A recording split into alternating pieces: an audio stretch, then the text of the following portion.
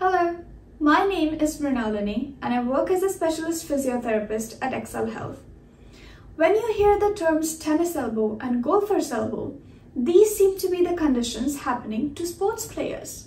But these conditions can happen to any person who's involved in performing activities with repetitive movements either at the wrist joint or the elbow joint.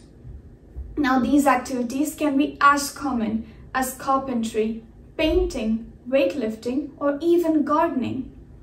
The repetition causes irritation and inflammation to the muscle tendons near your elbow either medially or laterally. This gives you pain symptoms that can radiate downwards from the elbow joint, make it difficult for you to lift objects, to twist your forearm, to grasp objects, or even make a fist among other possible symptoms. The most common way to differentiate between these two conditions is the location of pain.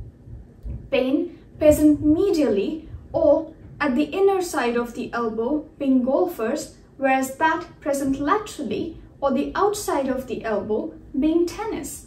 However, it is always a good idea to confirm the diagnosis with a professional. I hope this video helped you to know the differentiation between these two elbow conditions. Please like the video and subscribe for more.